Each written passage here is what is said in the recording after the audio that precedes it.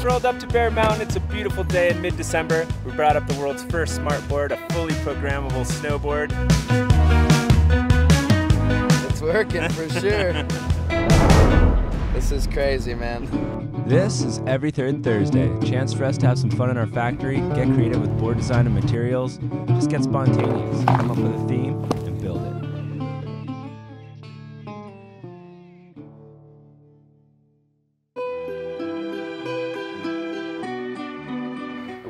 first talking about, well, okay, let's make a snowboard play music, you should be able to listen to your own music and we should use the snowboard as a controller.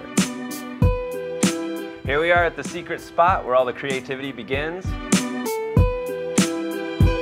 Matt Davis. I am a producer and a programmer um, and a musician. And I use everything to kind of control music. I use video game controllers, I use off-the-shelf MIDI controllers, um, and now that everything around us can just put out data, um, we can kind of catch that and use it to do whatever we want in Music Land. Basically, we're turning this phone now into a wireless MIDI controller, which you know, nothing too, too crazy there. This would be carving.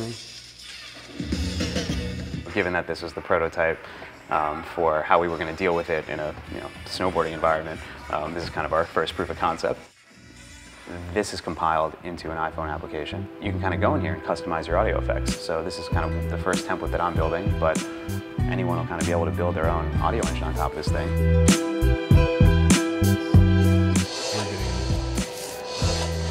So crazy. This is a this is amazing. The next challenge was how do we get it into the snowboard?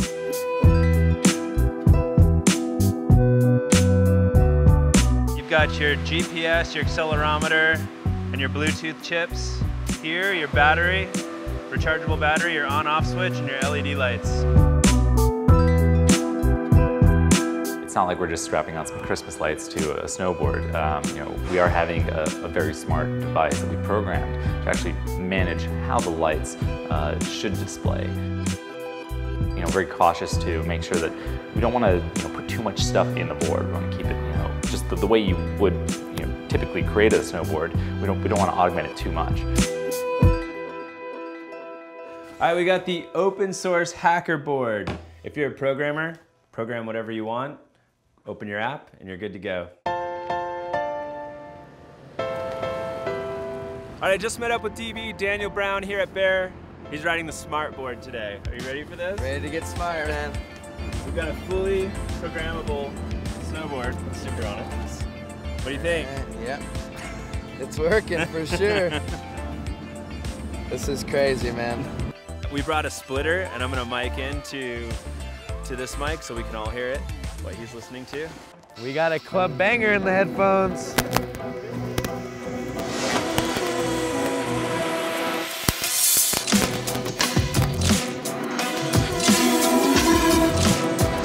So fun just following Daniel because I can hear everything that he's doing.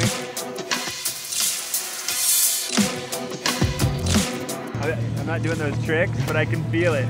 So it's like playing a video game. Man. Every time you do anything, the bass drops out, Yeah. comes back in.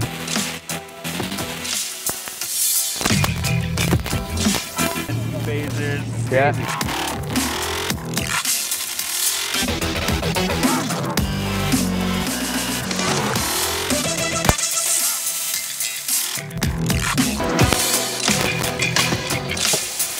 Where's the point where the art starts affecting your you know, performance on the mountain?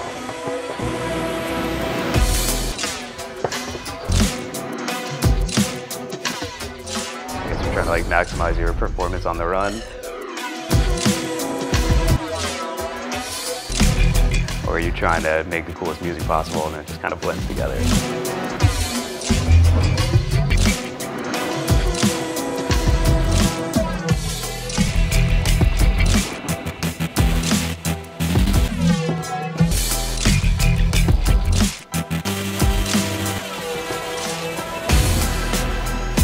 fun times chasing DB around Bear today on the smart board. That thing is smart. Yeah, I had a lot of fun. Good, good job on the board, yeah, man. Thanks, and I could hear it through the headphones. Open source, programmable snowboard. What would you program if you could? The possibilities are endless. I mean, I'm laying it up. We could throw the whole thing in the vacuum bag right now. No, no, hold on. Hold on. Hold on. Hold on. Here we are at the little secret spot. All of our hacker friends are inside.